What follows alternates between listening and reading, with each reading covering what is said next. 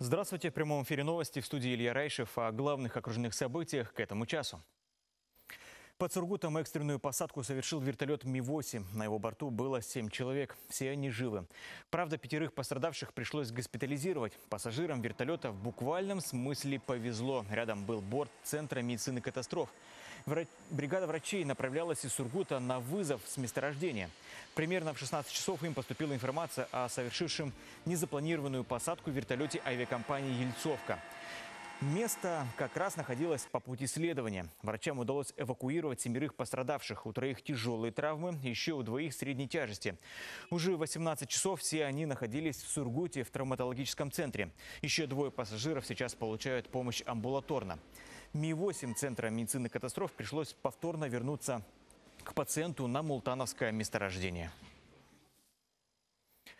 Более 600 специалистов сейчас тушат пожары в Югре. Вместе с нашими спасателями продолжают работать сотрудники авиабаз Свердловской области и Красноярского края. Задействовано 17 единиц техники, 12 самолетов и вертолетов. Сегодня в Югре действует 20 лесных возгораний, сообщает региональный департамент недропользования и природных ресурсов.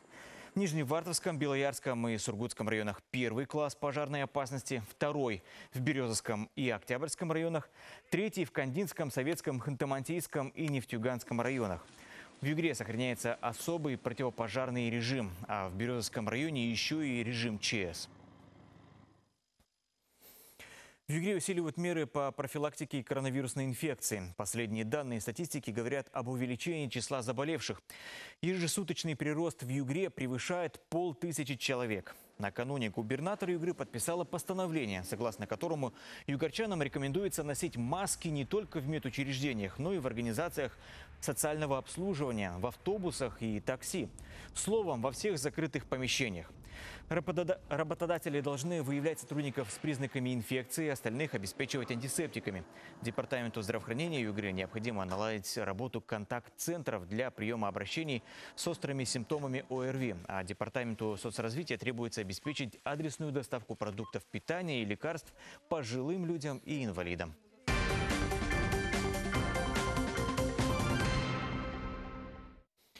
В Ханты-Мансийске наградят выдающихся нефтяников и компаний, которые добывают углеводороды. Традиционно в преддверии Дня нефтяной и газовой промышленности в Югре подведут итоги конкурса «Черное золото Югры».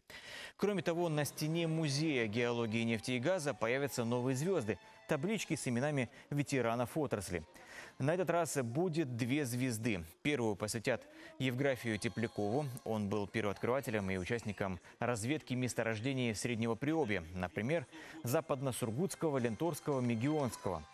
У Евграфия Артемовича две крупные профессиональные награды. Он заслуженный геолог РСФСР и почетный работник газовой промышленности России – Вторую звезду откроет честь Юрия Шафранника. Он с 1974 года работал в Нижневартовске. Начинал карьеру на месторождениях, будучи слесарем-механиком. В 1987 году Юрий Константинович возглавил одну из крупнейших югорских нефтяных компаний. Юрий Шафраник носит почетное звание «Заслуженный работник нефтяной и газовой промышленности России». Добавлю, Сейчас в Югре добывают черное золото 47 предприятий. В прошлом году из недр они подняли больше 200 миллионов тонн сырья. У каждого животного должен быть владелец. Ответственное отношение к четвероногим питомцам обсудили на прямом эфире с ветеринарной службой Югры. В частности, речь шла о защитной акции «Не бросай меня на даче». Ее задача – сформировать у граждан культуру ответственного обращения с животными. В муниципалитетах проходят рейды по частному сектору и на дачах. Определяют, какие четвероногие там живут и кому они принадлежат. Ветеринары чипируют питомцев, прививают от бешенства и проводят профилактические беседы с хозяевами. Данные обо всех обнаруженных собаках заносят в единую информационную систему «Домашние животные». Всего в округе у нас э, зарегистрировано 750 дачных кооперативов. А, ветеринарные специалисты посетили уже 318 из них, а, провели вакцинацию 1508 собакам, 846 собак занесены в базу как владельческие и 159 э, животных э, зачипированы. Зоозащитные организации э, продолжают проводить на территории округа зоофестивали, уроки добра в детских летних лагерях, они дни открытых дверей в приютах, а также благотворительный сбор кормов и проведение субботников. В Сургуте прошли сборы кинологов уголовно-исполнительной системы. Навыки демонстрировали 9 служебных собак. Испытания зависели от профиля четверолапого и имитировали реальные ситуации. Например, обыск автотранспорта, прохождение полосы препятствий или так называемая выборка человека. Все подробности далее. Чтобы участвовать в подобных сборах и вообще работать в колониях, служебные псы должны иметь соответствующую подготовку. Для тренировок собак используются специальные дресс-костюмы. Такие костюмы сделаны из специальной плотной ткани и используются для тренировки собак с задержанием. Если она где-то не в руку пошла, подставляйте ей руку. Это как бы не страшно, ничего. Они у нас приучены чисто на рукав вот хвататься. Для нанесения наименьшего вреда.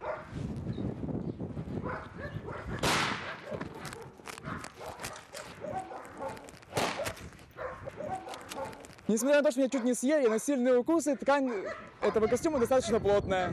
Перед тем, как вступить в ряды стражи правопорядка, каждая собака вместе с кинологом проходит курс подготовки, после чего они сдают экзамены. Например, Татьяна Меняйло с псом Арни учились три месяца. На данный момент напарники работают вместе уже десятый год. Их специализация – это поиск наркотических средств в транспортных средствах, приезжающих на охраняемые объекты. Хотя порой удается найти и другие запрещенные предметы. Находили до килограмма наркотических веществ. Находили, были случаи, что телефоны, э, на СТО заезжала машина, что обозначила в колесах было 50 с лишним телефонов, зарядных устройств, там около 200 сим-карт. Мы тоже обнаружили, хотя мы, ну, что-то там был такой запах, что обозначил. Стали разобрали колеса и там вот это выявили. Важная особенность состязаний кинологов – это работа не на время, а на результат. Оценивается количество команд, поданных специалистам собаки, попыток и взаимодействие кинолога с его четверолапым напарником. Участники соревнований говорят, что для полного контакта отношения между собакой и специалистом должны быть больше, чем просто рабочими. Мы с ним гуляем, как бы где-то я его забираю к себе домой, в город могу забрать погулять. Также мы с ним играем во что-то какие-то, в его любимые игры, это тоже мячик ему нравится очень сильно. Где-то побегать, просто порезвиться, побаловаться. Так как-то с ними сложились у нас отношения. В этом году на заслуженную пенсию идут около 10 четвероногих защитников правопорядка в исправительных учреждениях. Их отдадут в добрые руки. А на замену придут новые молодые псы, которых кинологи начнут обучать. Арсений Меликов, Владимир Гайнзе, телерадиокомпания «Югра», Сургут. В Югре проходит акция «Книга на родном языке». В Сургутском районе библиотекари собрали более тысячи книг на родных языках народов России. Часть литературы приобрели в рамках проекта «Национальная палитра». Остальные получили в подарок от читателей. На книжных полках появились произведения на башкирском, татарском, украинском, азербайджанском и других языках. Кроме того, коллекцию библиотек пополнили литературные издания о культуре, истории, бытии и национальной кухне народов. Напомню, Сургутский район и Ханты-Мансийск стали по итогам прошлого года самыми читающими муниципалитетами. Югорский боксер Ярослав Дороничев завоевал золотую медаль на Всероссийской спартакиаде среди сильнейших спортсменов. Турнир по боксу завершился в Москве. Наш спортсмен выступал в весовой категории до 92 килограммов. В финале вартовчанину противостоял боксер из Владимирской области Рамазан Дадаев. Ярослав Дороничев провел отличный бой и одержал победу единогласным решением судей. Еще одну медаль завоевал Дмитрий Захаров из Югорска. Он вышел в финал в весовой категории до 71 килограмма, но уступил спортсмену из Москвы. На его счету серебряная медаль спартакиады. К этому часу это все новости от моих коллег. С вами был Илья Райшев. Всего доброго.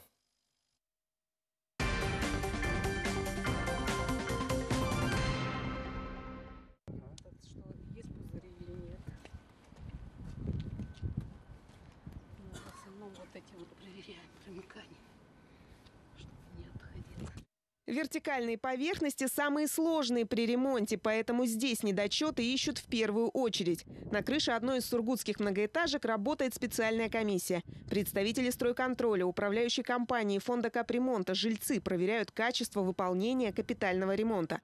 Тут полностью поменяли гидроизоляцию. Крышу специально сделали такой неровной, чтобы талая и дождевая воды стекали напрямую в стояк, а не на балкон жильцов пятого этажа.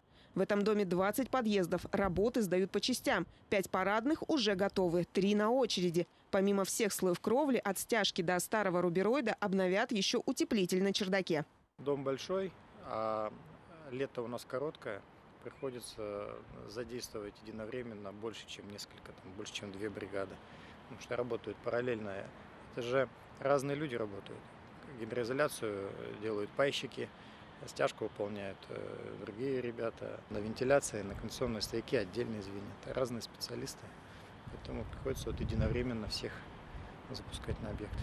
Здесь заменят в общей сложности почти 4,5 тысячи квадратных метров кровельного покрытия. Это практически размер полноценного футбольного поля. Работы закончат в срок до осенних ливней. Так стараются сделать на многих объектах, которые обновляют за счет средств собственников по программе капремонта. Приемки ведутся очень активно, много работы, нужно еще все успеть. А, Вообще на сегодня у нас в Сургуте запланирована приемка работы приемочной комиссии на 9 домах. До конца года э, закончим работу на 156 домах на общую сумму 2,9 миллиардов рублей. А, Выполнено будет порядка 600 видов работ. Это и крыши, и фасады, и подвалы, и инженерные сети. На все виды работ по программе капремонта действует гарантия 5 лет. На слой гидроизоляции на этой крыше 25 лет. Строители говорят, что он прослужит дольше, ведь с их стороны все сделано правильно. У приемной комиссии нет замечаний. Все правильно. В конечном счете мы все равно делаем это все для жильцов, для собственников, для таких же, как мы.